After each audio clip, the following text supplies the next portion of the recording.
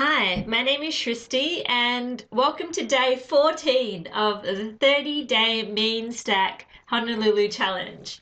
Um, today, we're going to take a slightly different tact as I show you a couple of my favorite tools to use when working with Angular and um, the mean stack, and something I'm going to refer back to over the um, the next week or so. So the two tools are um, firstly the Mongo Explorer, um, and secondly uh, a tool called Batarang that's actually from the Angular team. I think they've actually made it themselves, so it's a pretty handy little tool to work with.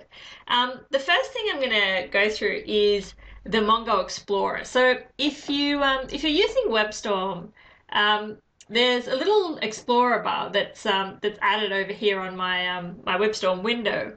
Um, and to get one of these, you you go over to File, Settings, um, down to Plugins, and um, in Plugins, just find search for a plugin called the Mongo plugin. That's really quite straightforward, nice and easy.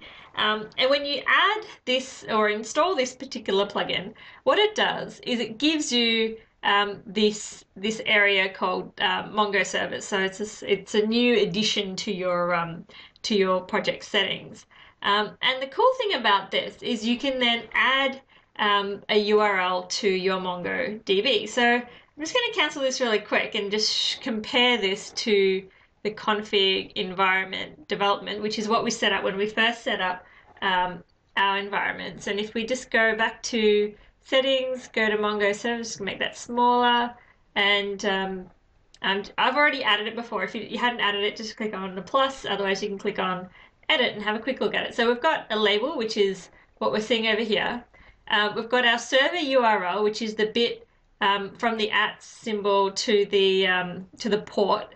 Um, we've got the name of the database, which is on the end there. We've got the username, which is the first part um, of the string, and we've got the password, which is the second part of the string before the at sign.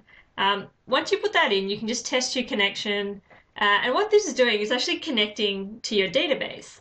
And you can then hit OK just to close that or cancel if you don't want to change anything. Um, and once you've got that, you can just OK or, cancel out. The cool thing is, what that does is it gives you this little Explorer bar on the side, and you can open that up.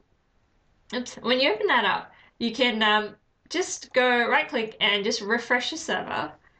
Um, and it comes back with all the collections that are currently living in your database. So it's a really cool tool to um, have a look at what's going on in your database if you're not that comfortable with the command line. So if I look at customers now, for example, um, and it's just sort of opening up for me over here. So it's doing a query and coming back with the list of customers um, that are in my database. And that's really cool. So it's shown me that I've got one customer and um, yeah, these are the details that we used um, in our uh, in the video yesterday when we went through and, and created our customer record. So that's a little bit of Mongo Explorer, and you know, it's a really powerful little tool just to give you that quick insight to see if your records were created the way you thought they were, um, to see what what's um, what kind of data is actually going on. Um, really, really useful for a development um, environment.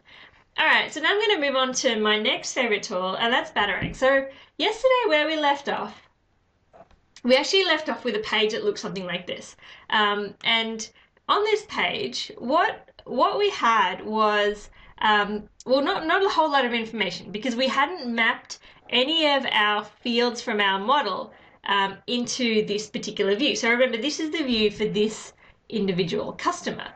Now, without having mapped any of the data to this page, what if I told you there was a really nice and easy way for you to see any Angular models or any Angular data that was behind the scenes and available on this page.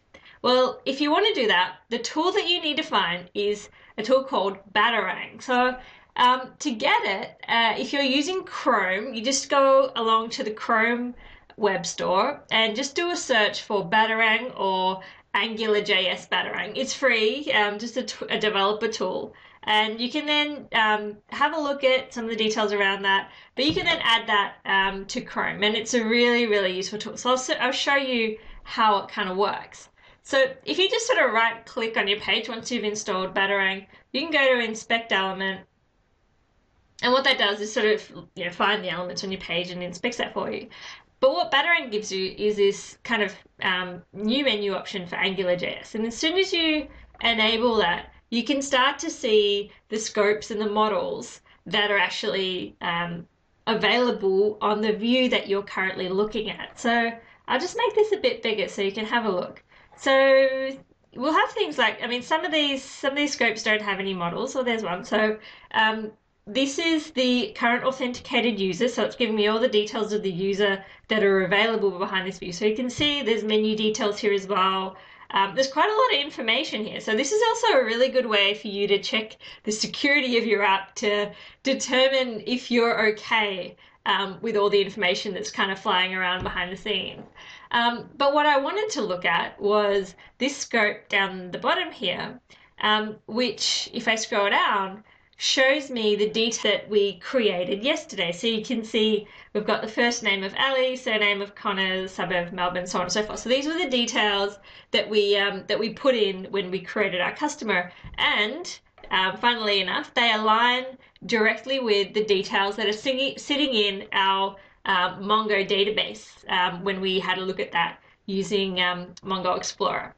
So um, that's kind of the the two of my favorite tools. Um, I'd love to hear about your favorite tools and what you use with Angular. So let me know um, in the comments below or, um, or, or, let me know on the Bossable page. Um, that's where I'm going to leave it here for today. I really, um, you know, strongly implore you to go and um, play with these tools and, and get familiar with how they work and how powerful they are and um, all the fun things you can do with them. So that's it for today. Um, subscribe to the channel if you haven't already. Um, go and have a look at bossable.com for more details, and I'll see you tomorrow.